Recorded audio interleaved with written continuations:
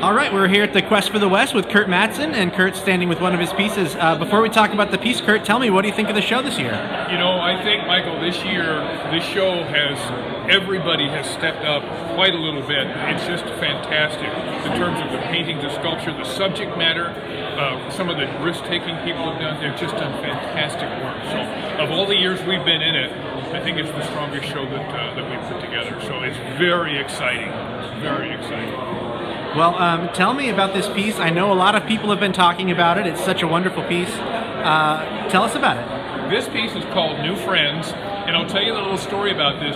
We, Wendy had seen on the internet that there was a girl at a rescue close to the house, and she was only five weeks old, and she'd been handled a lot, so we were able to get measurements. So I went out and measured her, and she was just so cute, you know.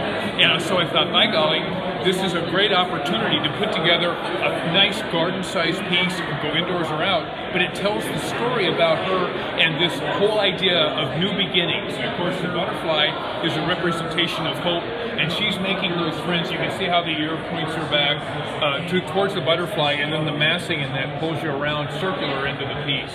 So it was a great opportunity to be able to tell her story and to be able to have something that people would really want to love, and get their hands on, you know, because that's what sculpture is so great about, is being able to be tactile like that. And of course, you're bringing uh, some really great cowboy pieces as well. Yep, we've got an Arizona cowpuncher here, and you can see his old dog down here, you know, and I called this piece Arizona Shade Tree because this one, when you're out working these cows, and boy, when it's hot, you hunt shade wherever you can. So he's got him up, and you can see he's got a big smile on his face.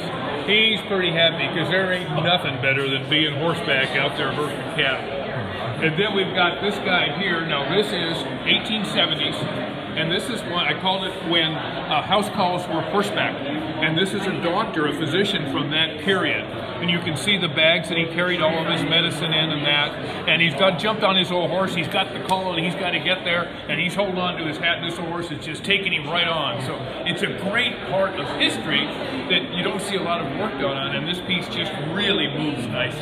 So there's a lot of great action in it. Well, fantastic work, and uh, congratulations on your presentation this year. Thanks, Michael. Appreciate it. Enjoy.